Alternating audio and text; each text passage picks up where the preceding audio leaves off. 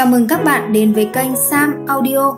Mời các bạn thưởng thức chương tiếp theo của bộ truyện Đam Mỹ xuyên không huyền huyễn Giang hồ biến địa thị kỳ 3 của tác giả Ngữ Tiếu Lan San qua giọng đọc của Sam. Nếu thấy hay, hãy like và share cho bạn bè mình cùng nghe nhé. Đừng quên đăng ký kênh và nhấn chuông để không bỏ lỡ những video mới nhất được thực hiện bởi Sam Audio. Chúc các bạn nghe chuyện vui vẻ. Chuyện đam mỹ, giang hồ biến địa thị kỳ 3 Chương 131 Mau trả nam nhân của ta lại đây. Chuyện gì? Thẩm Thiên Lăng tò mò hỏi. Thẩm Thiên Phàm cười. Tối nay Thiếu Phú sẽ nói cho ngươi biết. Thẩm Thiên Lăng im lặng. Bây giờ nói không được sao? Còn phải chờ đến tối. Treo đồ ăn để đó không cho người ta ăn. Thật đáng ghét. Sao lại không thấy đại ca? Thẩm Thiên Phàm thuận miệng hỏi Diệp Cẩn. Hắn không ở đây sao Diệp Cẩn cực kỳ ngạo kiều, hư một tiếng. Sao ta biết? Thẩm Thiên Lăng thầm mặc niệm cho đại ca hắn. Đại tẩu quả thật thiếu tự nhiên, chẳng phóng túng nóng bỏng chút nào.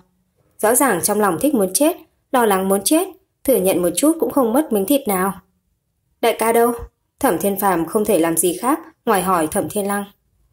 Hắn còn chuyện chưa làm xong, đang ở gần thiên ổ thủy trại. Thẩm Thiên Lăng nói. Chắc không lâu nữa sẽ đến. Vậy thì đúng lúc, Thẩm Thiên Phàm nói. Lúc trước, hắn nói muốn có tử huyền thảo, ta phải vất vả lắm mới tìm được ở chỗ ngự y. Hả? Diệp cốc chủ phút chốc mắt sáng lên. Là dược liệu rất quý. Ngươi muốn ư? Thẩm Thiên Lang kịp thời phát hiện ý đồ của đại tổ. Hoàn toàn không muốn. Diệp Cẩn bị chọc trúng điểm tức giận. Thẩm Thiên Lang ngờ. Ta chỉ hỏi thôi mà, người phản ứng hơi quá rồi. Ta ra ngoài đi dạo một vòng. Diệp Cẩn ôm cục bông đi ra, cực kỳ lạnh lùng. Hắn cãi nhau với đại ca ư? Thẩm Thiên Phàm bối rối, ngay cả nhắc tới cũng không được ư? Đâu chỉ đơn giản là cãi nhau, Thẩm Thiên Lăng nghiêm túc, chuyện này rất dài. À, Thẩm Thiên Phàm hứng thú, kể nghe xem. Sau này ngươi sẽ biết, Thẩm Thiên Lăng tự rót cho mình một chén nước. Những chuyện này có phải là thật không? Thẩm Thiên Phàm lấy trong ngực ra một quyển sách nhỏ. Thẩm Thiên Lăng suýt nữa bị sặc nước. Người, người, người thế mà mua thứ này? Có tính tự giác của mệnh quan triều đình hay không? Nói về ngươi và đại ca, ta tất nhiên sẽ tò mò. Thẩm Thiên Phàm nói cứ như đương nhiên. Chẳng lẽ ngươi cảm thấy người này là ta? Thẩm Thiên Lăng tiện tay mở ra một tờ, tức giận chỉ vào người đang rơi lệ, đánh đàn trong tranh. Hơn nữa, đánh đàn thì đánh đàn đi, cần gì phải trần như nhộng. Không mặc quần áo, ngồi trong vườn hoa đánh đàn, có hợp lý không? Hơn nữa, người có ghi ba chữ tần khung chủ bên cạnh kia là ai? Rõ ràng bộ dạng vừa thô tục vừa dâm đãng, giống như muốn xuống bếp trộm dầu vậy. Kỳ quái nhất là trong tay còn cầm dây chói. Định chói lão tử lại sao? Quả thật không thể nhịn được. Thẩm Thiên Phàm nén cười. Ta còn chưa đọc tới đoạn này. Ngày hôm qua mới xem xong đại ca và Diệp Cẩn thôi. Mẹ kiếp, lại còn phiên bản kép. Gian thương bây giờ càng ngày càng quá đáng. Thẩm tiểu thụ cầm quyển sách nhét vào ngực. Tịch thu. Chẳng lẽ ta không thể mua cái khác sao? Thẩm Thiên Phàm cố ý chọc hắn. Có triển vọng chút đi. Thẩm Thiên Lăng giận dữ. Dù gì cũng là quan lớn, phải làm gương có biết hay không? Thẩm Thiên Phàm cười ra tiếng, vươn tay nhéo mũi hắn. Chả trách nhị ca viết thư cho ta, bảo không nỡ để ngươi đi truy ảnh cung. Đáng nhiều như vậy, nếu là ta cũng không nỡ. Không nỡ ta cũng phải đi. Thẩm Thiên Lăng lẩm bẩm. Bọn ta đã ích ích nhau rồi. Cực kỳ ân ái. Ngay cả dính lễ cũng đã nhận rồi. Nhất định không được đổi ý. Phải giữ chữ tín, không sai, thẩm tiểu thụ đúng là khẩn cấp, muốn gả ra ngoài như vậy. Người thơ hoạt bát y như thiếu cung chủ, cực kỳ xứng đáng được lan một cái. Bởi vì thẩm thiên phàm là tâm phúc của hoàng đế, nên tối hôm nay Lý Thiết Thủ tiếp đãi rất nồng hậu. Thẩm Thiên Lăng thứ nhất là lười xã giao, thứ hai là Tần Thiếu Vũ vẫn chưa về. Vì vậy, mượn cớ không khỏe mà từ chối yến tiệc, một mình ngồi ăn canh trong sân. Ám vệ ngồi trên nóc nhà cảm thán, ngoan ngoãn cầm chén ngồi trên ghế đá. Phu nhân nhà ta nhìn thật nghe lời, khiến người ta tan chảy cả trái tim. Vì Tần Thiếu Vũ không có ở đây, nên Thẩm Thiên Lăng cũng không thấy thèm ăn. Sau khi ăn được nửa chén thì buông chén xuống, ngồi trên xích đu lắc lư. Thời gian từng chút trôi qua, bóng đêm ngày càng sâu, Thẩm Thiên Lăng mơ màng nhắm mắt lại. Ám vệ nhảy xuống khỏi nóc nhà, nhẹ giọng hỏi. Công tử về phòng nghỉ ngơi nhé. Hả? Thẩm Thiên Lăng tỉnh táo lại. Giờ gì rồi? Khuya lắm rồi, Ám vệ đắp áo choàng cho hắn. Cung chủ còn chưa về, công tử nghỉ ngơi trước đi. Trễ như vậy sao còn chưa về? Thẩm Thiên Lăng thầm thở dài. Sau khi về phòng thì nằm trên giường thẫn thờ. Lăng Nhi, một canh giờ sau, Thẩm Thiên Phàm ở ngoài phòng gõ cửa. Sao còn chưa ngủ? Tam ca, Thẩm Thiên Lăng kéo cửa ra. Ngủ không được ư? Thẩm Thiên Phàm hỏi. Hoàng thượng có nhiều chuyện tìm Thiếu Vũ lắm, e rằng nhất thời không về được. Người ngủ sớm đi. Hoàng thượng rốt cuộc có chuyện gì? Thẩm Thiên Lăng cau mày. Đương nhiên là liên quan đến Giang Sơn xã Tắc. Thẩm Thiên Phạm nói. Thiếu Vũ có chừng mực, người đừng lo. Thế nhưng... Ngoan, Thẩm Thiên Phạm xoa đầu hắn. Nhiều người lắm miệng, có một số việc không thể nhiều lời. Ngoan, đi ngủ đi. Nhưng ta muốn biết. Thẩm Thiên Lăng rất cố chấp. Người muốn biết cái gì? Tần Thiếu Vũ nhảy xuống từ trên tường rào. Người về rồi. Mắt Thẩm Thiên Lăng sáng lên. Ừ, Tần Thiếu Vũ kéo lại áo choàng cho hắn. Đêm khuya nhiều sương, sao lại mặc ít như vậy đứng ngoài cửa? Tam ca đang nói chuyện với ta. Thẩm Thiên Lăng nói. Đã lâu không gặp. Thẩm Thiên Phàm cười nhìn Tần Thiếu Vũ. Ta lại ước gì không gặp ngươi. Tần Thiếu Vũ không hề nể mặt. Về mặt Thẩm Thiên Phàm bất đắc dĩ. Thấy người là biết ngay sẽ có chuyện. Tần Thiếu Vũ ôm Thẩm Thiên Lăng vào phòng. Trời cũng sắp sáng rồi. Tạm biệt, không tiễn. Thẩm Tiểu Thụ nghiêm túc quay đầu nhìn tam ca của hắn. Nhớ đóng cửa. Thẩm Thiên Phàm giờ khóc giờ cười. Sau khi đóng cửa cho hai người bọn họ thì về phòng. Có cửa không đi, sao lại leo tường? Thẩm Thiên Lăng vừa cởi quần áo cho Tần Thiếu Vũ vừa nói. Trên người đều là bụi bặm. Leo tường cho nhanh. Tần Thiếu Vũ nhéo mặt hắn. Biết ngay là ngươi lại không ngủ. Hoàng thượng tìm ngươi có chuyện gì? Thẩm Thiên Lăng rất quan tâm chuyện này. Hoàng thượng muốn ta đi mặc bác hòa thân. Tần Thiếu Vũ làm ra vẻ mặt đau thương. Thẩm Thiên Lăng căm nín. Người nghiêm túc chút đi. Diễn không giống ư. Tần Thiếu Vũ cốc đầu hắn. Sao chẳng phản ứng chút nào vậy? Loại kỹ xảo biểu diễn kỳ quái này, ta có phản ứng mới là có vấn đề. Thẩm Thiên Lăng kéo Tần Thiếu Vũ ngồi bên mép giường. Nói mau. Quy tắc cũ. Tần Thiếu Vũ ngồi thẳng lưng. Thật đáng ghét. Thẩm Thiên Lăng cam chịu, hôn hắn một chút. Bây giờ nói được chưa? Lần này Thiên Phàm tới Hoan Thiên Trại là để luận võ chọn rể. Tần Thiếu Vũ nói ra lời giật gân. Luận võ chọn rể ư? Thẩm Thiên Lăng giật mình. Tam ca của ta ư? Ừ. Tần Điều Vũ gật đầu. Tại sao? Thẩm Thiên Lăng dối rắm Hắn quen biết Đỗ Trai Ngư? Hay nàng đẹp đến mức bất cứ nam nhân nào nhìn thấy cũng không nhịn được? Tần tiểu Vũ nói. Hồi một cái, trả lời một câu. Cực kỳ khôn ngoan. Thẩm Tiểu Thụ nghe vậy giận dữ. Trước đây đều là một đoạn, vì sao hiện tại biến thành một câu? Tần cung chủ vô liêm sỉ nói. Lên giá. Thẩm Thiên Lăng trách móc. Người có giỏi thì lên giá tới mức một nụ hôn một chữ đi.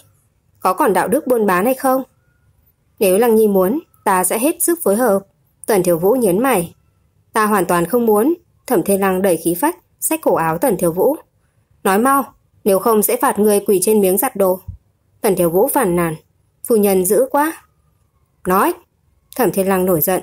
Hay là ngươi đoán thử xem. Tần thiếu Vũ ngồi sát lại bên giường, khiến Thẩm Thiên Lăng nằm sấp trong ngực mình. Chắc chắn không phải thích đỗ tranh. Cũng không phải vì gia tài của Lý Gia. Thẩm Thiên Lăng suy nghĩ một chút. Không phải có liên quan đến Hoàng thượng đấy chứ. Thông minh, Tần Thiểu Vũ vỗ vỗ đầu hắn. Đoạn Bạch Nguyệt cũng vậy, Thiên Phàm cũng vậy. Hoặc là tất cả những người tụ tập bên trong Hoan Thiên Trại, bề ngoài là luận võ chọn rể. Nhưng thực tế, e rằng không ai đơn thuần vì đỗ tranh mà đến. Nếu xét về chân tình, có lẽ không ai hơn được tạ Văn Hàn. Gần đây, hắn và Tiễn Tam thế nào? Thẩm Thiên Lăng hỏi. Sau chuyện lần trước thì an phận hơn. Tần Thiếu Vũ nói. Vẫn dịch dung ở trong phòng. Những chuyện liên quan đến Lý Thiết Thủ cũng không hề giấu giếm. Nếu chuyện lần này có thể thuận lợi giải quyết, khiến Tạ Văn Hàn và Đỗ Tranh thành thân cũng xem như chuyện tốt. Thẩm Thiên Lăng vỗ ngực Tần Thiếu Vũ. Nói mau, Hoàng thượng tìm ngươi làm gì? Vẫn vì muốn ta đánh giặc giúp hắn. Tần Thiếu Vũ nói. Nhưng không bắt ta mang binh đánh giặc, mà khiến ta phụ trách làm loạn. Làm loạn? Thẩm Thiên Lăng khó hiểu. Mấy ngày nữa sẽ bắt đầu luận võ chọn rể. Tuy có không ít người tới, nhưng đa số đều là nhân vật nhỏ. Còn lại sau cùng, trên lôi đài chỉ có đoạn Bạch Nguyệt và Thiên Phàm. Nhưng mục đích của bọn họ là gì? Thẩm Thiên Lăng cau mày. Nếu đoạn Bạch Nguyệt thắng, cả ca ta sẽ không thua. Thẩm Thiên Lăng nghiêm túc cắt ngang. Lời nói thật xui xẻo, gió to hãy thổi bay đi. Tần thiếu Vũ bật cười. Nếu bàn về võ công, thiên phàm quả thật khó phần thắng bại với đoạn Bạch Nguyệt. Nhưng chỉ tiếc, trận này thiên phàm phải thua. Vì sao? Thẩm Thiên Lang khó hiểu. Thiên phàm là trụ cột quốc gia, sủng thần của thiên tử. Nếu vì một nữ nhân mà ở trên lôi đài xảy ra chuyện, người nghĩ hoàng thượng sẽ bỏ qua sao? Tần Thiếu Vũ nói. Huống hồ, thiên hạ đồn đại, đoạn Bạch Nguyệt làm việc nóng này, tính cách bá đạo, hoàng thượng sẽ sớm ngứa mắt hắn. Thì sao? Thẩm Thiên Lăng tiếp tục hỏi. Sau khi đánh một trận trên lôi đài, đoạn Bạch Nguyệt tuy có thể thắng được mỹ nhân về, nhưng cũng vô tình đắc tội triều đình, cũng khiến hoàng thượng có cớ xuất binh. Tần Thiếu Vũ nói, đoạn Bạch Nguyệt không thể không nghĩ ra chuyện này. Nếu là ngươi, ngươi sẽ làm sao? Thẩm Thiên Lăng nói, thay vì chờ người khác đánh, không bằng đánh trước người khác, ít nhất còn có thể có ưu thế đi trước. Quả nhiên là phu nhân của ta. Tần Thiếu Vũ nhéo mặt hắn. Lời nói đại nghịch bất đạo như vậy cũng nói ra được. Thẩm Thiên Lăng căm nín. Rõ ràng là ngươi hỏi. Ta thích Lăng Nhi đại nghịch bất đạo. Tần Thiếu Vũ cúi đầu hôn nhẹ hắn. Hoàng thượng muốn đoạn Bạch Nguyệt làm phản. Thẩm Thiên Lăng vùi đầu vào ngực Tần Thiếu Vũ. Tình tiết tranh đấu trốn hoàng cung này thật là ba chấm. Chương 132 Miệng lưỡi độc địa thật đáng ghét. Vài ngày nữa, ám vệ tìm kiếm tiểu ngũ ở Trấn Lạc Bình sẽ về. Tần Thiếu Vũ đắp chăn cho Thẩm Thiên Lăng. Gần đây hoàn Thiên Trại không yên ổn, ta sẽ phái thêm người bảo vệ ngươi. Yên tâm đi, hàn độc của ta không sao. Thẩm Thiên Lăng vỗ ngực Tần Thiếu Vũ. Ngươi cứ làm chuyện quan trọng, đừng lo cho ta. Sao lại bỏ mặc ngươi được? Tần Thiếu Vũ ôm chặt hắn. Đối với ta, Lăng Nhi mới là quan trọng nhất. Ám vệ nằm sấp trên nóc nhà, nước mắt lưng tròng. Cùng chủ nhà ta nói những lời yêu thương thật cảm động. Sát vách, Diệp Cẩn đang nằm trên giường thẫn thờ. Sau khi cục bông ở bên mép gối hắn tỉnh lại, thì nhắm mắt duỗi thân thể, cảm giác cực kỳ sảng khoái. Chuyện hạnh phúc nhất trên đời không phải là thức dậy sau một giấc ngủ ngon, mà là sau khi thức dậy lại phát hiện có thể ngủ thêm một trận nữa. Vì vậy, Tiểu Phượng Hoàng đổi chiều, nằm xuống lần nữa, thoải mái nhắm mắt lại. Không bị đánh thức, cuộc đời làm chim quả thật thỏa mãn. Diệp Cẩn dùng ngón tay cọ cọ đầu nó, xuống giường rót chén nước uống, lại tiện tay lấy ra một ít bánh tiên hoa. Dù sao cũng không ngủ được, thôi thì ăn cái gì đó vậy. Chíp! Cục bông lập tức mở đôi mắt hạt đậu. Diệp Cẩn bị chọc cười. Cục bông lắc lư nhảy xuống, xòe cánh nhào vào ngực hắn. Cực kỳ mê. Sau khi một người một chim ngồi trên bàn ăn điểm tâm xong, thì đều tỉnh táo. Cục bông ngồi trên bàn xòe cánh, há mỏ kêu chip chip. Diệp Cẩn tiện tay cầm lấy hòm thuốc, lấy một cây ngân châm bên trong ra. Chip! Ánh mắt cục bông lập tức cảnh giác, chẳng lẽ lại muốn đâm vào móng?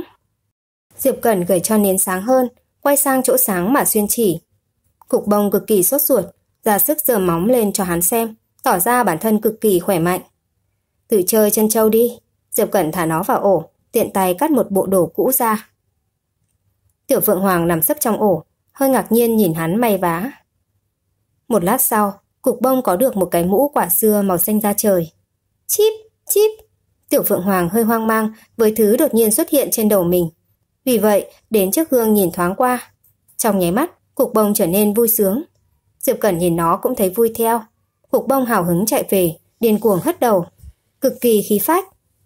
Tuy lông tơ bị giấu trong mũ, nhưng vẫn rất khí phách. Ám vệ Nhật Nguyệt Sơn Trang ngồi xổm trên nóc nhà, xuyên qua một khe hở mà vô cảm nhìn vào. Vì đại thiếu gia đã dặn, trừ khi tắm và đi nhà sĩ, những thời gian khác phải nhìn chằm chằm Diệp Cốc Chủ. Thật khó hiểu. Mà ở nóc nhà đối diện, ám vệ truy ảnh cung lại tỏ ra khinh bỉ. Nhìn Diệp Cốc Chủ ngủ là cực kỳ may mắn biết không? Làm ra vẻ mặt lão tử thật thiệt thòi. Kia cho ai xem? Huống chi bên trong còn có thiếu công chủ ngây thơ sáng lạn nhà ta. Cộng lại quả thật là ân huệ như núi. Còn không biết quý trọng, còn không vỗ tay, còn vẻ mặt vô cảm, quả thật đáng ghét. Sáng hôm sau, Tần Thiếu Vũ dậy rất sớm, Thẩm Thiên Lăng vẫn dì dầm, ôm chặt tay hắn không chịu buông. Tần Thiếu Vũ bật cười, cúi đầu hôn hắn một cái. Giờ gì rồi? Thẩm Thiên Lăng mơ màng hỏi. Còn sớm lắm, Tần Thiếu Vũ vỗ nhẹ lưng hắn. Ngủ thêm một chút nữa đi. Người định đi đâu vậy? Trong chăn rất ấm, Thẩm Thiên Lăng không muốn ra. Ra ngoài có việc, Tần Thiếu Vũ nói. Sớm giải quyết hết mọi chuyện, ta mới dẫn người đi Nam Hải được. Ừ, Thẩm Thiên Lăng ôm eo hắn. Ta nằm mơ. Mơ cái gì? Tần Thiếu Vũ hỏi. Thẩm Thiên Lăng ngẩng đầu nhìn hắn. Người đoán xem. Tần công chủ lập tức không vui. Tiêu triển ư? Thẩm Thiên Lăng lắc đầu. Vậy là tốt rồi. Tần Thiếu Vũ cọ cọ chán hắn. Trừ hắn ra, nằm mơ thấy ai cũng được. Thẩm tiểu thụ khổ sở nói. Ta mơ thấy đoạn bạch nguyệt. Ai? Vẻ mặt tần tiểu vũ rất phức tạp. Đoạn bạch nguyệt. Thẩm thiên lăng nói thành thật. Ta mới thấy hắn bị tam ca đánh bại trên lôi đài. Sau đó, hoàng thượng nói muốn chém tam ca. Tần thiếu vũ nhéo mặt hắn. Mơ thấy đoạn bạch nguyệt dáng dấp ra sao? Thẩm thiên lăng lưu loát nói. Cực kỳ xấu. Thiếu hiệp, người quan tâm tới trọng điểm chút đi. Cứ hay ghen tuông, thật khiến người ta không yên lòng. Ừ, hắn quả thật rất xấu. Tần Thiếu Vũ gật đầu. Khắp thiên hạ, chỉ có nam nhân của ngươi là đẹp nhất. Thẩm Thiên Lăng căm nín. Để ý tới khí chất đi.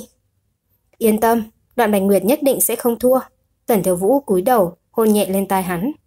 Ngủ đi. Nhưng nếu hắn quỷ kế đa đoan như lời đồn, thì không có khả năng nghĩ không ra chuyện này. Thẩm Thiên Lăng nói. Sao lại ngoan ngoãn sập bẫy được? Tần Thiếu Vũ cười cười. Lăng nhi của ta biến thành thông minh rồi. Thẩm Thiên Lăng giận. Lão tử vốn luôn thông minh biết không? Chỉ là lười biểu hiện ra trước mặt ngươi mà thôi. Nói cho ngươi biết một bí mật lớn. Tần Thiếu Vũ đâm đâm bụng hắn. Nghe không?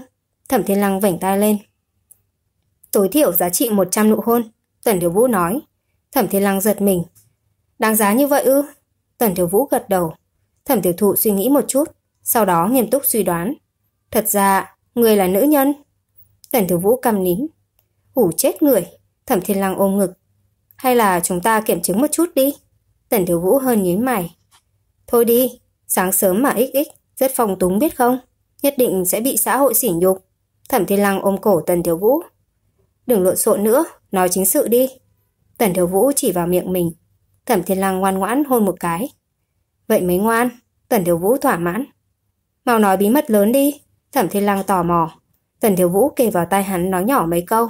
Thẩm Thiên Lăng hít một hơi khí lạnh. Th th thật sao? Đương nhiên là thật. Tần Thiếu Vũ nói. Cho nên trận này, đoạn Bạch Nguyệt nhất định thắng. Thẩm Thiên Lăng choáng váng. Loại tình tiết chỉ có trong tiểu thuyết này. Không được nghĩ nhiều nữa, Tần Thiếu Vũ nói. Người chỉ cần ăn no, ngủ ngon, đừng để bị cảm lạnh. Những chuyện còn lại cứ giao cho ta. Thẩm Thiên Lăng phản nàn. Nghe sao mà ngu xuẩn quá. Hiện tại cứ ngoan ngoãn làm sâu gạo đi. Tần Thiếu Vũ xoa bụng hắn. Đợi gả đến truy ảnh cung rồi thì quản lý sổ sách cả đời cho ta. Thẩm Thiên Lăng híp mắt. Ta nhất định phải bòn rút tạo quỹ đen. Được. Tần Thiếu Vũ nhìn hắn cười.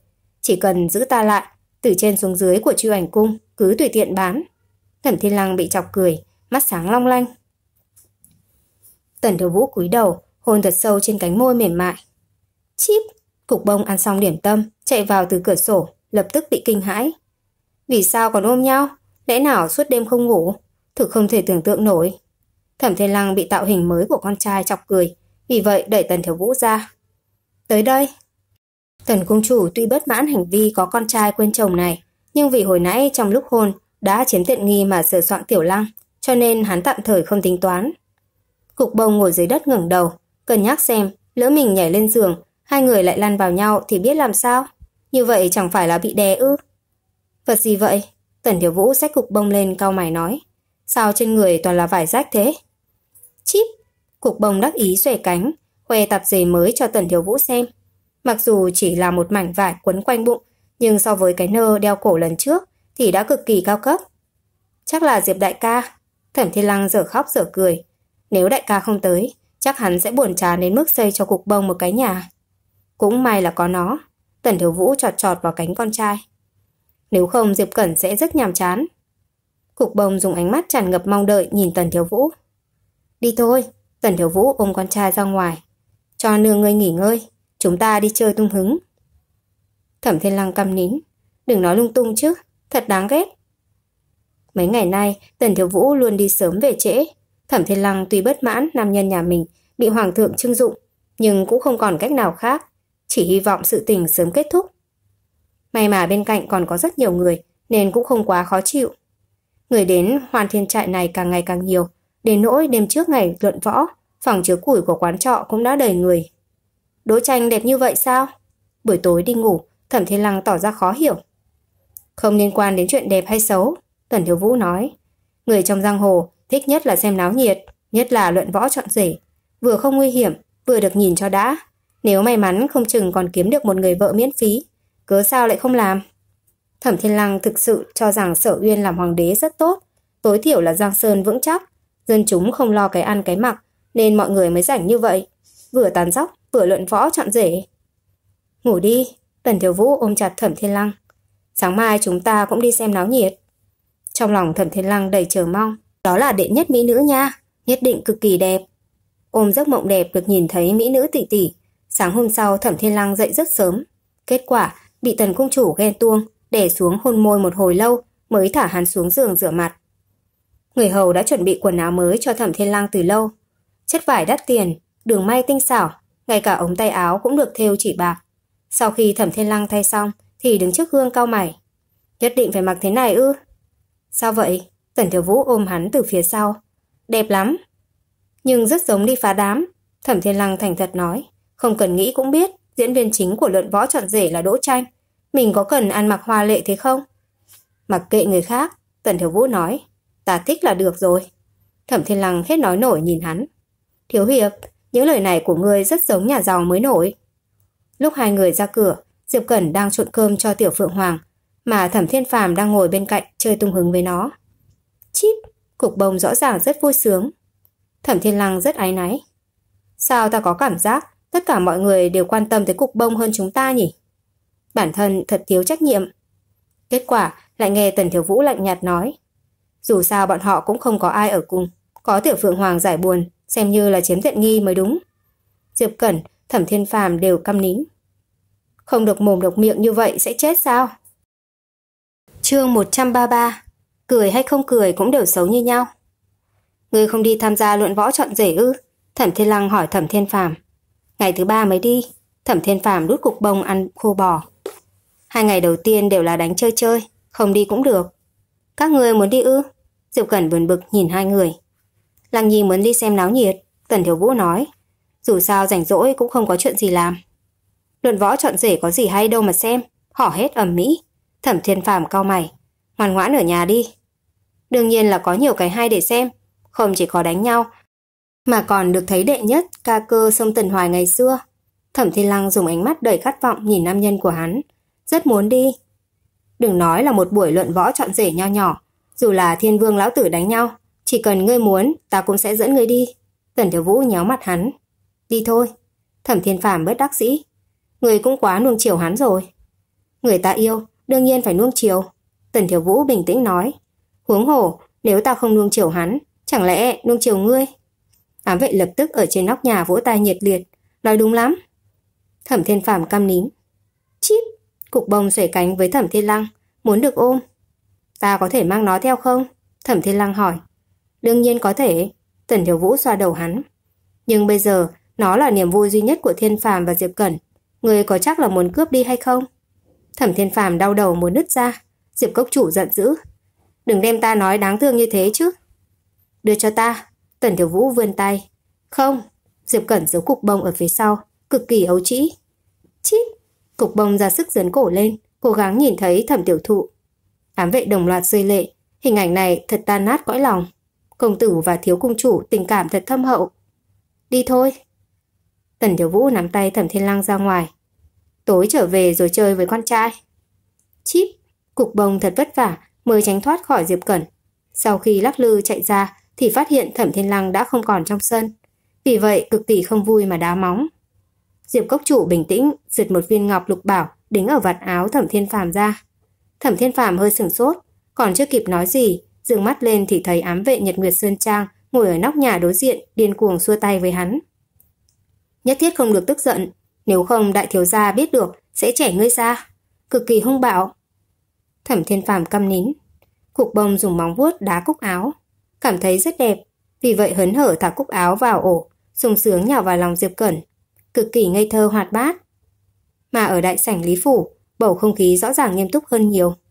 Thẩm Thiên Lăng vừa theo Tần Thiếu Vũ bước vào cửa thì nhìn thấy rất nhiều bàn đã ngồi kín người, mỗi người đều nghiêm mặt, ánh mắt trừng trừng. Sao không khí lại kém như vậy?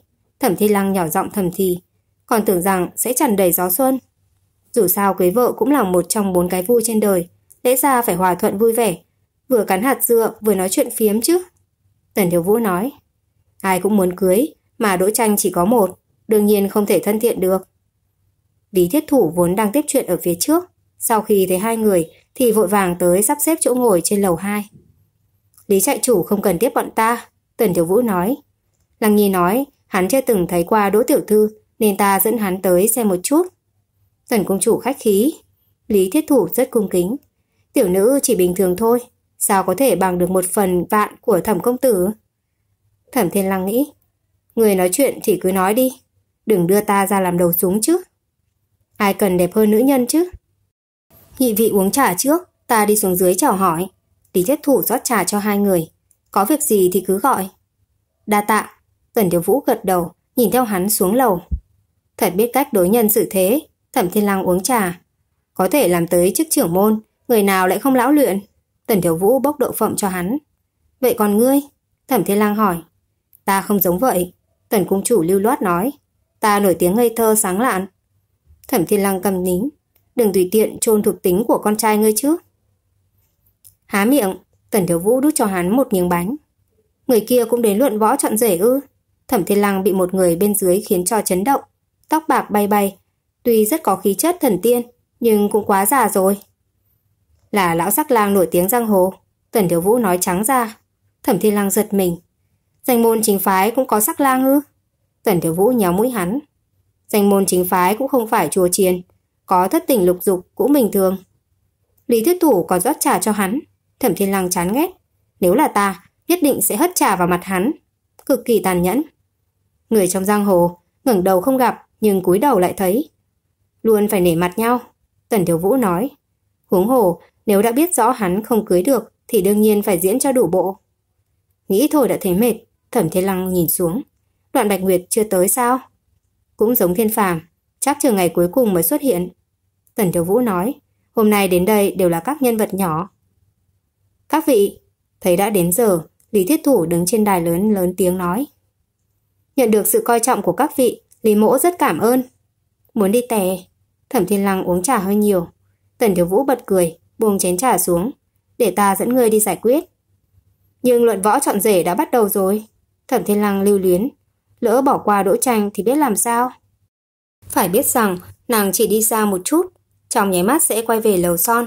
Nếu không thấy, chẳng phải là không công đến đây ư? Không đâu, Tần Thiếu Vũ kéo hắn đứng dậy. Lý Thiết Thủ nổi tiếng nói nhiều, hướng hồ chuyện quan trọng như gả con gái. Nhất định phải nể mặt các môn phái mà nói thêm nửa nén nhang. Vậy chúng ta đi nhanh lên. Thẩm Thiên Lăng chạy lạch bạch, hơi xót ruột. Tần Thiếu Vũ nhịn một hồi mới không kéo hắn vào lòng hôn môi. Đi nhà xí cũng đáng nhiều như thế, thật hết thuốc chữa. Sự thật chứng minh Tần Thiếu Vũ rất hiểu Lý Thiết Thủ. Vì lúc hai người trở lại, Lý Thiết Thủ vẫn đang nói liến thoáng. Trong tay còn bưng một chén trà. Một lát sau, Thẩm Thiên Lăng lười biếng ngáp. Lại một lát sau, Thẩm Thiên Lăng duỗi người. Chưa kịp đợi một lát nữa, Thẩm Thiên Lăng đã giận dữ nói. Hắn rút cuộc nói xong chưa? Người ta tới luận võ chọn rể, chứ không phải tìm người trò chuyện. Người là chủ tịch huyện ư, cực kỳ quan liêu. Ta giúp người thúc giục hắn nhé. Tần Tiểu Vũ tiện tay bốc lên một hạt đậu phộng. Không cần. Thẩm Thiên Lăng nắm tay hắn lại. Thời điểm này đừng làm loạn chứ. Lỡ ném chết Lý Trại Chủ thì làm sao bây giờ? May mà một giây sau, Lý Thiết Thủ tuyên bố luận võ chọn rể chính thức bắt đầu, thành công bảo vệ được răng cửa của mình. Mời Đỗ Tiểu Thư, quản gia cất giọng hô lên. Mọi người lập tức kích động vỗ tay, thậm chí có người ở phía sau còn đứng lên bàn, điên cuồng vỗ tay. Thẩm Thiên Lăng nghĩ, vị đại ca này, người thật sự biết luận võ chọn rể ư? Bức rèm che chậm rãi kéo lên, Đỗ Tranh mặc đồ cưới đỏ thẫm, được nhà hoàn đỡ ra. Trong sân lập tức trở nên yên tĩnh, rõ ràng đều bị sắc đẹp của nàng khiến cho ngây ngẩn. Thẩm Thiên Lăng ngồi trên lan can rất sốt ruột, không thấy mặt. Vừa dứt lời, Đỗ Tranh giống như nghe được mà ngẩng đầu nhìn về phía này. Phắc! Thẩm Thiên Lăng lập tức ngồi lại trên ghế, khôi phục vẻ lãnh diễm. Trạng thái nằm sấp trên lan can đầy thô tục, nhất định không thể để người khác xem. Tần Thiếu Vũ nén cười. Sau khi nhìn rõ hai người, Đỗ Tranh cười nhạt, không người hành lễ, sau đó xoay người về lầu son. Các người rất thân thiết ư? Thẩm tiểu thụ nhào mắt lại. Lúc trước đã nói với ngươi rồi, chỉ nghe nàng đánh đàn sướng khúc một lần mà thôi. Tần Thiếu Vũ nói. Bình giấm chua. Sau này đánh đàn sướng khúc cũng không cho đi. Thẩm Thiên Lăng vô cùng nhỏ nhen. Nếu đi phải mang theo ta. Lỡ say rượu, mất đi lý trí thì biết làm sao. Chỉ nghĩ thôi đã thấy đáng sợ. Yên tâm, Tần Thiếu Vũ châm trả cho hắn. Ngoại trừ Lăng Nhi, những người khác dù là tiên trên trời, ta cũng không hứng thú. Khi hai người trò chuyện, thì bên dưới đã bắt đầu luận võ. Thẩm Thiên Lăng nhìn một hồi thì thất vọng. Loại đánh nhau này ta cũng làm được. Dù không có dáng lòng thập bát trưởng, nhưng ít nhiều gì cũng phải bay bay chứ. Ôm đối phương quay vòng vòng là sao? Một chút kỹ thuật cũng không có. Tần Thiếu Vũ bị chọc cười, nâng cảm hắn lên hôn một chút. Thẩm Thiên Lang khẩn trương. Coi chừng người ta thấy. Không đâu, Tần Thiếu Vũ nói. Trên lầu 2 không có người nào khác. Vậy cũng đúng, nhưng không thể hôn giữa ban ngày ban mặt biết không? Thẩm Thiên Lang lau miệng, xoay người định xem tiếp, thì đột nhiên quét mắt nhìn thấy một người, vì vậy kinh ngạc. a sao vậy? Tần Thiếu Vũ hỏi. Còn nói không có người khác. Thẩm Thiên Lăng căm giận chỉ ngón tay. Bị nhìn thấy rồi, mong rằng hắn không hiểu chuyện. Nếu không ngày mai nhất định sẽ có sách mới. Lúc trước chỉ nắm tay trên đường thôi, sau khi dân chúng nhìn thấy thì đã biến thành XX rồi. Huống chi lần này là hôn, không chừng sẽ gặp phải tình tiết kỳ quái gì đó. Lão tử không muốn bị mang thai đâu. Thần Thiếu Vũ nhìn theo tay hắn, chỉ thấy trên lan can, ở hướng khác có một nam tử áo đen đang đứng. Bởi vì hơi tối, lại bị cây cột che, nên rất khó phát hiện. Ai vậy? Thẩm Thiên Lăng khẩn trương hỏi. Ngươi thấy sao? Tần Thiếu Vũ cong khóe miệng, đáy mắt có chút trêu đùa. Thẩm Thiên Lăng tràn đầy bi thảm nói. Đừng bảo là người kể chuyện nhé. Tần Thiếu Vũ lắc đầu cười. Heo. Ngươi mới là heo, chỉ giỡn tôi biết không? Thẩm Thiên Lăng xoa mũi. Đoạn Bạch Nguyệt. Tần Thiếu Vũ gật đầu. Thẩm Thiên Lăng lại liếc một cái, sau đó tiếc nuối nói. Không thấy rõ mặt. Sau này sẽ có cơ hội thấy. Tần Thiếu Vũ nói. Xem ra, hắn cũng rảnh rỗi buồn chán mà chạy tới xem náo nhiệt.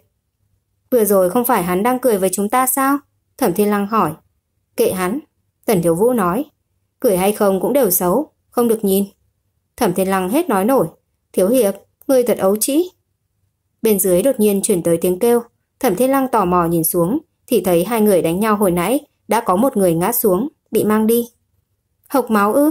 Thẩm Thiên Lăng giật mình, nhìn sao cũng thấy giống như bị đánh chết. Dùng tính mạng để cưới vợ à? Chương 134 Liên kết Để kết hôn mà liều cả tính mạng, đầu bọn họ có vấn đề ư? Thẩm Thiên Lăng thật sự không hiểu nổi. Muốn cưới vợ thì ở đâu mà không có, tội gì phải cố chấp như vậy? Nhìn nghiêm trọng vậy thôi, không chết được đâu. Tần Điều Vũ lột cam cho hắn. Dù không chết, nhưng bị đánh như vậy cũng rất thảm. Trong mắt Thẩm Thiên Lăng đầy đồng cảm. Trên giang hồ có không ít môn phái ngu xuẩn như vậy. Sau này, người gặp mãi sẽ quen. Tần Thiếu Vũ rất bình tĩnh. Thẩm Thiên lang nghĩ, nam nhân của ta quả nhiên sắc bén. Liều lĩnh dễ xúc động mà hay khoe mẽ, không đáng cảm thông. Tần Thiếu Vũ đút Thẩm Thiên lang ăn cam. Hồi nãy, hắn dùng chiêu thức tàn độc, không hề lưu tình với đối phương. Chỉ tiếc võ nghệ không bằng. Chua, Thẩm Thiên Lăng nhăn mặt. Chua à, lần sau ta sẽ nếm trước. Tần Thiếu Vũ bị hắn chọc cười, vươn tay nhéo mũi hắn. Đoạn Bạch Nguyệt đâu rồi? Thẩm Thiên Lăng nhìn thoáng qua đối diện, phát hiện đã không còn bóng người. Chắc là thấy chán nên về trước. Tần Thiếu Vũ bất mãn. Sao người lại nhớ mong hắn? Thẩm Thiên Lăng căm nín. Nhớ mong gì chứ? Đây rõ ràng là tò mò. Hơn nữa, ngay cả dáng dấp hắn ra sao, ta cũng không thấy rõ. Có gì đâu mà nhớ với Nhung. Kèn tuồng cũng phải có logic chứ. Đỗ Tranh cũng đã thấy rồi, còn muốn tiếp tục xem không? Tần Thiếu Vũ hỏi. Hôm nay có bay tới bay lui đánh nhau không? Thẩm Thiên Lăng lưu luyến. Không đâu. Tần Thiếu Vũ lắc đầu. Hôm nay chỉ có mấy người cấp thấp, chỉ ôm nhau xoay vòng vòng thôi. Vậy chúng ta đi thôi. Ánh mắt Thẩm Thiên Lăng hơi thất vọng.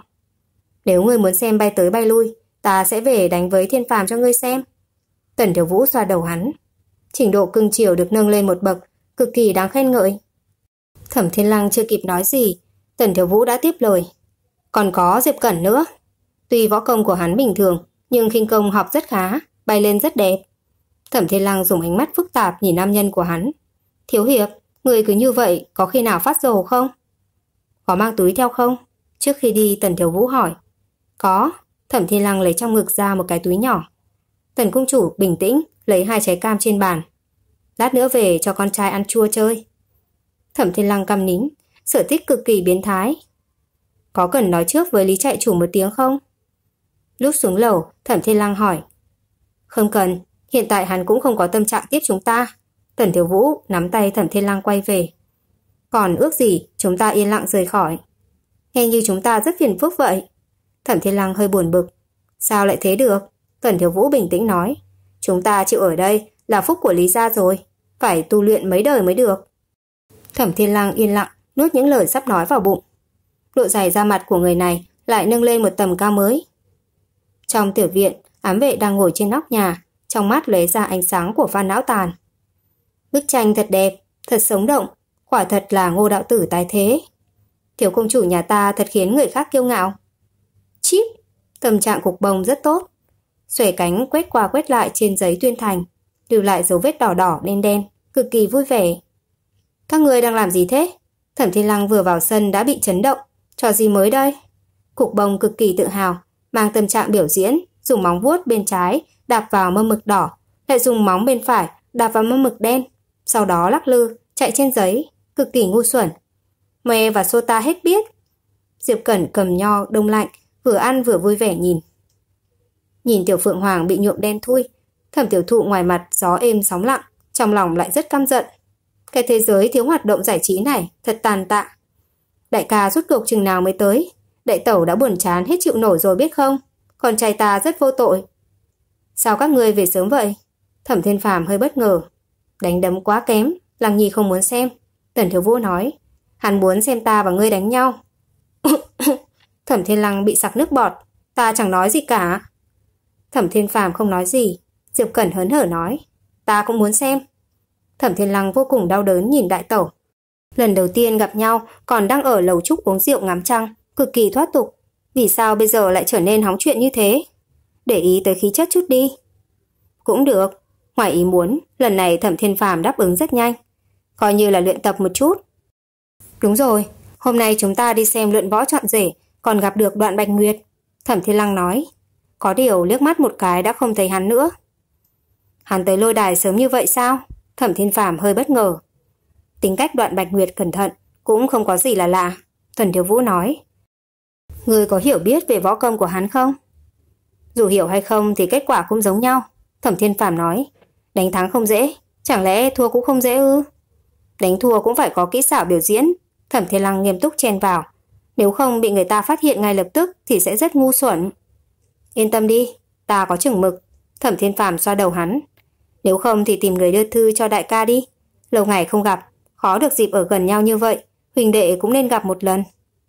Diệp Cẩn quyết đoán xoay người vào phòng. Thẩm Thiên Lăng căm nín. Rốt cuộc đã xảy ra chuyện gì? Thẩm Thiên Phàm hạ giọng hỏi. Thẩm Tiểu Thụ dùng khẩu hình nói. Cãi nhau. Chuyện đại ca và Diệp Cốc Chủ là thật ư? Thẩm Thiên Phàm cau mày. Thẩm Thiên Lăng gật đầu. Vẻ mặt Thẩm Thiên Phàm phức tạp, khó diễn tả thành lời. Thậm chí còn làm đổ một cái chén. Ta nghĩ ngươi đã sớm biết. Thẩm Thiên Lăng bối rối.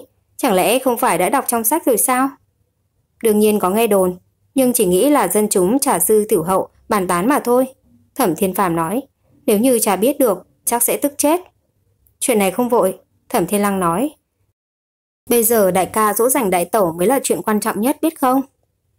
Chiều hôm đó, Tần Thiếu Vũ luyện võ với Thẩm Thiên Phàm, người hầu Lý Phủ nghe đồn nên đồng loạt chạy tới, cực kỳ háo hức. Vận may này rất hiếm thấy, không chừng trên đời chỉ có một lần, đương nhiên phải biết quý trọng. Vì vậy, những người luận võ chọn rể trên lôi đài đều cảm thấy cô đơn. Các nhà hoàn người hầu xung quanh xem náo nhiệt đều đi hết, chỉ còn lại một nhà hoàn hầu hạ trà nước mà vẻ mặt lại không vui, nói đúng hơn là oán hận tận trời. Không sai, đây là sự khác biệt giữa nghèo và xấu, với giàu và đẹp. Thế giới này quả nhiên vô cùng bất công. Mà cùng lúc đó, ở Chu Gia, Sở Uyên đang ở trong phòng đọc sách. Cửa sổ vang lên rất nhỏ, vừa ngẩng đầu thì trong phòng đã thêm một người. Sao lại đến đây? Sở Uyên cau mày. Nếu bị người ta thấy, diễn nhiều như vậy cũng thành không công. Nếu không muốn ta tới thì cần gì bảo ngự lâm quân rời đi. Đoạn Bạch Nguyệt cười khẽ, tiện tay cầm chén trà của Sở Uyên uống một ngụm. Sở Uyên lạnh lùng nhìn hắn. Có việc gì? Không có việc gì thì không thể tới ư. Đoạn Bạch Nguyệt đặt chén trà xuống. Ta giúp người chuyện lớn như vậy, mời một chén trà thì đã là sao? Giúp ta? Sở Uyên chế giễu. Theo giao dịch, người muốn được phong đất ở Tây Nam, ta muốn dẹp loạn ở Tây Bắc, cần gì phải chụp mũ như vậy? Để Tây Nam thoát ly khỏi sở quốc, ta đã có biện pháp, dù ngươi không cho ta, cũng có thể khởi binh chiếm đoạt. Đoạn Bạch Nguyệt chật lưỡi, nhưng nếu ngươi không cho ta hỗ trợ, thì e rằng Năm mười năm nữa cũng không dẹp loạn được Tây Bắc. Đoạn Bạch Nguyệt, Sở Uyên giận dữ. Ngươi đừng khinh người quá đáng. Rõ ràng là Hoàng thượng chọn chủ đề trước. Ta chỉ thuận theo mà nói chuyện phiếm thôi. Đoạn Bạch Nguyệt cởi một bình rượu bên hông xuống. Có chén không? Sở Uyên hử lạnh một tiếng, xem như không nghe thấy. Đoạn Bạch Nguyệt cũng không để ý thái độ kém cỏi của hắn, tự ngồi trên bàn uống rượu, trong tay lật một tấm bản đồ da dê. Sở Uyên cau mày nhìn thoáng qua. Bản đồ biên giới Tây Bắc. Đoạn Bạch Nguyệt nhếch môi. Điều kiện, giọng Sở Uyên lạnh lùng. Điều kiện gì? Đoạn Bạch Nguyệt bật cười. Đem vật này ra, đơn giản là muốn trao đổi. Trong mắt Sở Uyên giận dữ. Trẫm đã đáp ứng sau khi dẹp loạn sẽ cắt Tây Nam cho ngươi, dẹp bỏ tiền cống hàng năm, thậm chí còn cho ngươi vô số gấm vóc vàng bạc. Ngươi còn muốn gì nữa? Tuy là hàng tử, nhưng con đường trở thành đế phương của Sở Uyên cũng không thuận lợi. Vừa lên ngôi đã phải diệt họ hàng nhà ngoại, bình ổn Bắc Cương, hào phí một lượng lớn binh lực và tài lực. Gần đây tuy trong nước dần dần ổn định, nhưng quốc khố vẫn thiếu hụt, quân đội cũng không đủ, vậy mà các phiên quốc ở Tây Bắc lại dục dịch. Nếu liên kết các bộ lạc để xuôi Nam thì không khác gì kiếp nạn của sở quốc. Cho nên sau khi cân nhắc kỹ càng, sở Uyên phải chọn một con đường tương đối ổn định, cắt Tây Nam, đổi lấy đoạn Bạch Nguyệt đáp ứng diễn một vở kịch, trước hết giả vờ giao chiến với sở quốc, khiến cho các bộ lạc Tây Bắc cho rằng binh lực của sở quốc đã trống rỗng, vì vậy mà dẫn binh xuôi Nam. Mà mấy tháng trước, đoạn Bạch Nguyệt đã âm thầm điều quân, cùng quân đội sở quốc ẩn nấp tại các thành trấn quan trọng ở Tây Bắc. Chiến dịch Tây Nam lần này chỉ là ngụy trang mà thôi. Gần đây Lý Thiết Thủ đã nói gì với ngươi? Một lát sau, Sở Uyên mở miệng hỏi. Hắn có thể nói gì với ta? Đoạn Bạch Nguyệt cười nhạt. Đơn giản là một quân cờ Tây Bắc đặt ở Tây Nam. Khơi mào chiến sự giữa ta và ngươi thôi. Sau đó ngư ông đắc lợi. Ngươi còn nghĩ hắn chủ động nói hết sự thật với ta ư? Nếu không còn gì khác, ngươi có thể về rồi. Sở Uyên đứng dậy. Chậm muốn nghỉ ngơi. Lần nào cũng dùng câu này đuổi ta đi. Đoạn Bạch Nguyệt chật lưỡi. Có thể đổi câu khác hay không? Trẫm đã phái người đến Nhật Nguyệt Sơn Trang đón đệ đệ của ngươi rồi. Sở Uyên lười dây dưa với hắn. 20 ngày nữa là có thể nhìn thấy. Trẫm đã sớm nói không muốn dùng hắn làm chất thử. Ngươi yên tâm rồi chứ? Ta đương nhiên yên tâm. Đoạn Bạch Nguyệt cười. Có điều, nói thật thì đệ đệ ta chỉ có một là đủ. Còn tên tiểu tử điêu ngoa tùy hứng không nói lý lẽ đó. Ta còn nước gì người nuôi hắn cả đời. Chương 135 Mỗi người đều có tính toán riêng. Người rốt cuộc đến trường nào mới đi? Sở Uyên không kiên nhẫn. Người và Tần Thiếu Vũ quan hệ thế nào? Đoạn Bạch Nguyệt hỏi. Tần Thiếu Vũ? Sở Uyên cao mày. Sao lại đột nhiên nhắc tới hắn? Nếu ngươi quản được, ta muốn nhờ ngươi một việc. Đoạn Bạch Nguyệt nói. Sở Uyên nghe vậy, sắc mặt tối xuống vài phần. Đoạn Bạch Nguyệt hiểu rõ, giơ hai tay lên nói. Coi như ta chưa nói. Chuyện giang hồ, chấm không muốn nhúng tay. Sở Uyên lạnh lùng nói. Nhưng theo ta được biết thì Hoàng thượng dường như muốn khiến hắn chinh chiến Tây Bắc. Đoạn Bạch Nguyệt trêu chọc. Cái này không tính là nhúng tay sao? Sở Uyên giận dữ. Người dám phái người theo dõi trẫm ư? Sao lại gọi là theo dõi? Đoạn Bạch Nguyệt bật cười. Trong cung của ngươi không có bao nhiêu cao thủ, lại có rất nhiều người thèm muốn ngôi vị hoàng đế của ngươi. Ta đương nhiên phải phái nhiều người bảo vệ. Sở Uyên tức giận, phẩy tay áo bỏ đi. Rõ ràng không muốn dây dưa với hắn. Đoạn Bạch Nguyệt không để bụng, ở trên bàn uống xong một bầu rượu rồi đặt bản đồ dưới quyển sách của Sở Uyên, xoay người rời khỏi Chu gia. Đang là phiên chợ, trên đường rất náo nhiệt, Đoạn Bạch Nguyệt chậm rãi trở về, ánh mắt đột nhiên quét qua hai bóng người, vì vậy lách mình ẩn vào trong một hẻm nhỏ. Thẩm Thiên Lăng cầm một túi hạt rẻ đường, vừa ăn vừa lột một hạt đưa qua. Tần Thiếu Vũ há miệng, Thẩm Thiên Lăng đút cho cục bông. Tần Thiếu Vũ cầm nín, cục bông chít Quan hệ phụ tử mỏng manh mỗi ngày đều bị thử thách. Đây là điều vô cùng nguy hiểm. Thẩm tiểu thụ hồn nhiên chưa phát hiện, còn đang nhai hạt rẻ. Dân chúng đồng loạt nước mắt lưng tròng. Không hổ là mang thai 10 tháng mới sinh ra. Tầm quan trọng đã vượt qua tần cung chủ. Cảnh này thật cảm động. Không ăn nữa. Thẩm Thiên Lăng đưa hạt rẻ cho Tần Điều Vũ, ôm cục bông về. Chúng ta tìm chỗ nào đó ngồi một chút. Đi mệt rồi sao? Tần Tiểu Vũ hỏi. Không phải, Thẩm Thiên Lăng thành thật nói. Ta chỉ không muốn bị vây xe mà thôi. Vậy chúng ta đi uống trà. Tần Thiếu Vũ mang hắn vào một quán trà. Chíp, cục bông dùng móng vuốt đá Tần Thiếu Vũ. Mau lột hạt rẻ. Tần cung chủ vờ như không biết. Chíp, chíp, cục bông dùng sức một chút. Tần cung chủ vuốt cằm ho khan. Nhiều lần không đạt kết quả, Cục bông nhanh trí thay đổi phương pháp, ngửa đầu dùng vẻ mặt cực kỳ thất vọng, nhưng đồng thời cực kỳ ngoan ngoãn nhìn thẩm tiểu thụ. Đút nó ăn đi, thẩm thiên lăng quả nhiên bị đả động. Không, tần cung chủ rất ngạo kiều, cầm hạt rẻ giấu sau lưng. Cục bông tức khắc lộ ra vẻ mặt tan nát cõi lòng. Tần tiểu Vũ tự ăn hạt rẻ. Cục bông vùi đầu dưới cánh, tỏ ra mình rất đau lòng. Tần cung chủ hài lòng. Thẩm Thiên Lăng đau đầu muốn nứt. Các người có còn ấu trĩ hơn được nữa không? Cực kỳ ngu xuẩn. Vì là buổi chiều, lại là chợ phiên, nên trong quán trà có không ít người. Tuy nhiên điều này không thành vấn đề với Thẩm Thiên Lăng và Tần Thiếu Vũ. Thẩm công tử yếu đuối, dễ vỡ, mê muốn tới quán trà, cho dù vật lòng toàn bộ người dân trong trấn cũng phải đuổi ra một bàn. Huống hồ các vị khách cũng thông cảm, đồng thời tình nguyện nhường vị trí tốt nhất, bởi vì loại chuyện thẩm công tử ngồi uống trà ở chỗ ta từng ngồi qua, đủ để khoe khoang suốt một năm biết không? Cực kỳ tự hào. Cảm ơn các vị.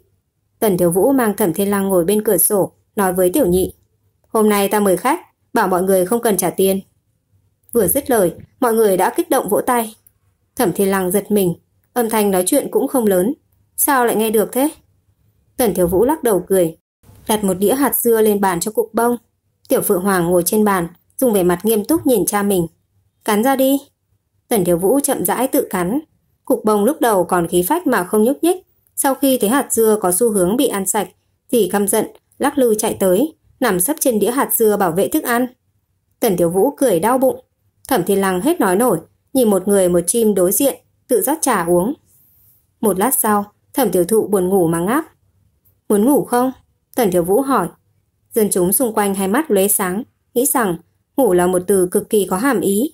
Thẩm công tử quả nhiên là hoa yêu ngàn năm, tính cách cực kỳ phóng túng, mới ban ngày ban mặt mà đã muốn ngủ.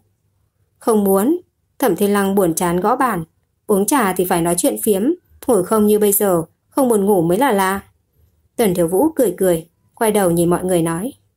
Lăng Nhi có chuyện muốn nói riêng với ta, không biết mọi người có thể tránh mặt một chút không? Vừa dứt lời, mọi người lập tức ùn ùn kéo bàn ra chỗ xa nhất, cực kỳ tự giác, cơ bản không cần nói nhiều. Thẩm Thiên Lăng xấu hổ, thấp giọng oán trách. Sao lại làm phiền mọi người như vậy? Cách xa một chút mà thôi, Tần Tiểu Vũ châm trà cho hắn. Cùng lắm thì lát nữa lúc về, ta cho thêm mỗi người năm lượng bạc là được. Thẩm Thiên lang nghĩ, Thiếu Hiệp, người có phải phá của quá rồi không? Chỉ cần gây vui, tốn tiền một chút ta cũng chịu. Tần Thiếu Vũ hiểu những gì Thẩm Thiên lang nghĩ. Muốn nói gì thì nói đi. Hồi nãy ta nhắc tới năm lượng bạc mà không thấy ai phản ứng, rõ ràng nghe không được. Thật ra cũng không có gì, Thẩm Thiên Lăng bóc đậu phộng ăn. Định hỏi ngươi lúc nào đi tìm đoạn Bạch Nguyệt. Đêm nay, Tần Thiếu Vũ nói. Đêm nay, Thẩm Thiên Lăng hơi giật mình. Sao nhanh vậy? Ta còn tưởng ít nhất phải sau khi luận võ chọn rể chứ. Dân chúng vây xem đồng loạt trả sát tay. Thẩm công tử nhìn rất giật mình, nhất định tần cung chủ vừa nói ra tư thế đặc biệt gì đó. Chúng ta không hề nghĩ bậy đâu. Ta vốn không xác định tiểu ngũ mất tích có liên quan đến đoạn bạch nguyệt hay không. Tần Điều Vũ nói, chỉ sợ nếu không phải hắn bắt, với tình tình của hắn, nếu biết tiểu ngũ mất tích, nhất định liều lĩnh đi tìm đệ đệ. Đến lúc đó, tám chín phần sẽ làm lỡ dở việc của Hoàng thượng nhiều vả. Cho nên ta nghĩ, chờ ám vệ đến Trấn Lạc Bình, trở về rồi quyết định. Vậy bây giờ thì sao? Thẩm Thiên Lang hỏi. Ám vệ đã về, nói Hoa Đường lưu lại lời nhắn ở Trấn Lạc Bình, xác định tiểu ngũ nằm trong tay đoạn Bạch Nguyệt. Tần Điều Vũ nói, nếu đã vậy, ta đương nhiên phải đi hỏi cho rõ. Tả hộ pháp sao rồi? Thẩm Thiên Lang hỏi, không về cùng ám vệ ư? Tần Tiểu Vũ lắc đầu, nàng đến vương phủ Tây Nam tìm tiểu ngũ. Nếu là vậy, ít nhất bọn họ sẽ không nguy hiểm tới tính mạng. Thẩm Thiên Lang nói, cũng xem như chuyện tốt. Nếu thuận lợi, ngày mốt ta sẽ dẫn ngươi đi Nam Hải. Tần Thiếu Vũ xoa đầu hắn. Ngày mốt sẽ đi ư? Thẩm Thiên Lang cau mày. Nhưng ở đây tình hình rất rối loạn. Là chuyện của Sở Uyên, không phải của ta. Tần Thiếu Vũ nói. Chuyện duy nhất liên quan đến ta là Tiểu Vũ và Hoa Đường. Có điều đoạn Bành Nguyệt sẽ không dễ thả người như vậy. Đêm nay ta chỉ nói với hắn vài lời thôi. Những chuyện khác đợi chúng ta từ Nam Hải trở về rồi nói tiếp. Như vậy chẳng phải Tiểu Ngũ và Tả Hộ Pháp bị nhốt rất lâu ư? Thẩm Thiên Lăng cau mày. Tần Tiểu Vũ bật cười. Sao ngươi lại nghĩ vậy? Chẳng lẽ không phải ư? Thẩm Thiên Lăng bối rối. Một em trai, một em dâu. Đoạn Bạch Nguyệt dù đầu óc bị nước vào, cũng không nhốt hai người bọn họ một địa lao. Tần Tiểu Vũ nói. Tối đa là nhốt ở vương phủ Tây Nam thôi. Có núi có sông, có ăn có chơi. Thay vì nói là nhốt, thì nói là nghỉ ngơi ngắm cảnh thì hơn. Nhưng không được tự do, Thẩm Thiên Lăng nhấn mạnh. Hơn nữa, bọn họ nhất định muốn trở về. Mọi người náo nhiệt ở bên nhau rất vui vẻ. Ta cũng muốn giải quyết sớm chuyện này. Đáng tiếc không thể phân thân làm hai. Tần Thiếu Vũ nói. Hoa đường và tiểu ngũ tạm thời không thể thoát khỏi vương phủ Tây Nam. Mà hàn độc của ngươi lúc nào cũng có thể phát tác. Bên nào nhẹ, bên nào nặng. Thẩm Thiên Lăng không nói gì. Cục bông ngồi trên bàn, nghiêm túc cắn hạt dưa. Có rất nhiều chuyện chờ ta làm, nhưng ta chỉ có thể làm chuyện quan trọng nhất. Tần Thiếu Vũ nhéo mặt hắn. Đừng nghĩ nữa, có cần dọn trà xuống rồi mang một ít thức ăn lên không? Thôi đi, Thẩm Thiên Lăng lắc đầu, không muốn bị nhiều người nhìn. Ta dẫn người đi chỗ khác không ai nhìn. Tần Thiếu Vũ cười khẽ. Đi đâu? Thẩm Thiên Lăng tò mò. Tần Thiếu Vũ tiện tay nhặt cục bông lên. Tay kia kéo Thẩm Thiên Lăng xuống lầu. Chít, cục bông duỗi móng vuốt. Đôi mắt hạt đậu sốt ruột nhìn đống hạt dưa trên bàn. Mới mổ ra, chưa kịp ăn. Thật đáng tiếc. Nơi không ai nhìn của Tần Thiếu Vũ chính là nóc nhà ở Lý Phủ. Ám vệ trong dự liệu bị đuổi xuống, cực kỳ khổ sở. Ở đây không có ai nhìn chúng ta, hơn nữa có thể ngắm cảnh. Tần thiếu Vũ mở mấy túi giấy dầu ra, bên trong là các món ăn nhiều màu. Chíp, cục bông ngồi dưới sân, ngẩng đầu đầy mê. Tần Thiếu Vũ tiện tay đánh rơi một miếng đậu rang. Cục bông cực kỳ chuẩn xác, tiếp được, ngồi trên bàn ngoan ngoãn ăn, sau đó vui vẻ nhảy xuống, vào phòng tìm Diệp Cẩn chơi. Ám vệ ở bên cạnh cực kỳ chua xót. Thiếu cung chủ nhà ta đã tiến đến tình trạng chỉ một miếng đậu hũ là đã thỏa mãn. Phải biết rằng bản tính của Phượng Hoàng cực kỳ kiêu hãnh. Rốt cuộc chuyện gì đã xảy ra? Thật chua chát. Nếu ngươi cự tuyệt xuất trình Tây Bắc cho Hoàng thượng, vậy sẽ đổi thành ai? Thẩm Thiên Lăng vừa gặm chân gà vừa hỏi. Mặc kệ là ai, Tần Thiếu Vũ lau miệng cho hắn. Tóm lại, không phải ta. Không sai, dù ta không có hàn độc cũng không cho ngươi đi. Thẩm Thiên Lăng nói. Lúc trước vì cứu ngâm vô xương mà chúng độc ở quỷ thành, đến giờ vẫn chưa hoàn toàn trừ sạch. Ai lại muốn bị thêm lần nữa? Câu vừa rồi trọng điểm là cứu ngâm vô xương hay là ta trúng độc? Tần Thiếu Vũ bình tĩnh hỏi. Thẩm Thiên Lăng suy nghĩ một chút. Trúng độc. Tần Thiếu Vũ thở phào nhẹ nhõm, gật đầu nói. Còn chưa thành thân với Lăng Nhi, ta nhất định không thể trúng độc nữa. Huống hồ, trọng thương hộc máu thì thôi. Nếu từ nay về sau không ích ích, thì chẳng phải là không còn thú vui trên đời nữa ư. Thẩm Thiên Lăng căm nín. Thiếu hiệp, cuộc đời của ngươi chỉ làm có mỗi việc này thôi ư. Ăn cái này đi. Tần Thiếu Vũ đưa cho hắn một chén mì nhỏ. Nói thật đi, lần trước người trúng độc có sao không? Thẩm Thiên Lăng khẽ nhíu mày. Tuy Tần Thiếu Vũ nói không sao, nhưng vết xanh đen trên cánh tay vẫn không biến mất, nhìn thôi cũng thấy khó chịu. Hơi xấu chút thôi, không sao. Tần Tiểu Vũ nhéo mặt hắn. Nếu người không thích nhìn, lần sau trước khi xx ta sẽ chát phấn.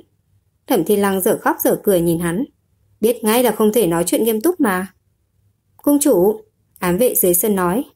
Tây Nam Vương đang đến đây, dường như là tìm cung chủ. Cũng tốt, tự mình tìm tới cửa. Tần Thiếu Vũ buông xuống mấy món ăn, nhìn Thẩm Thiên Lăng nói. Có muốn đi gặp hắn với ta không? Hết chương 135 Các bạn đang được thưởng thức bộ truyện đam mỹ Xuyên không Giang hồ biến điện thị kỳ 3 của tác giả ngữ tiếu Lam San qua giọng đọc của Sam. Để không bỏ lỡ những chương tiếp theo, hãy đăng ký kênh và nhấn chuông để đón xem các video mới nhất từ Sam Audio.